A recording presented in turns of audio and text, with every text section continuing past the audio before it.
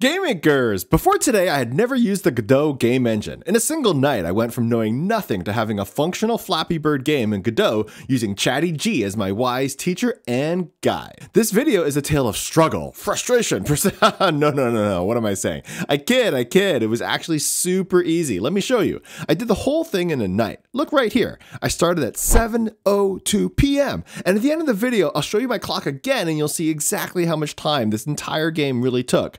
Couple snags along the way, which I'll show you so you can avoid my mistakes, but seriously, Godot is pretty sweet. Have I mentioned yet that it's free? Chatty G walked me through the steps for downloading and installing Godot and starting a new project. There were detailed steps for creating the bird that flaps, along with the steps for setting up the obstacles, but I quickly ran into our first problem.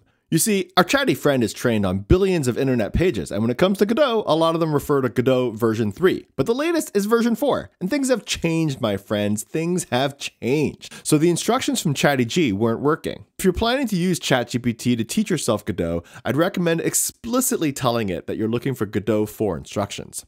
Chatty G walked me through the steps for making the bird, which started with importing the graphical image and ended with hooking up the spacebar to flap the bird's wings. Next, Chatty G walked me through the steps for creating pipes with collision and setting up a pipe spawner to scroll obstacle pipes towards the player. One thing about having ChatGPT as my teacher, it did not explain correctly how to set up the different components in a hierarchy. Oh, ChatGPT, why can't you just do everything for me? Someday, my friends, someday.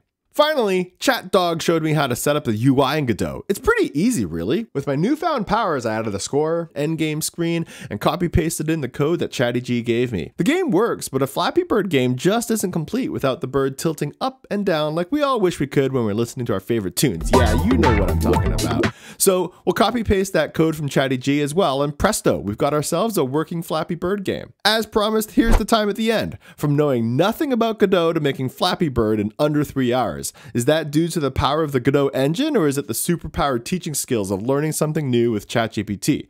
Probably a little bit of both, and I gotta say, it's the way of the future, and I'm here for it.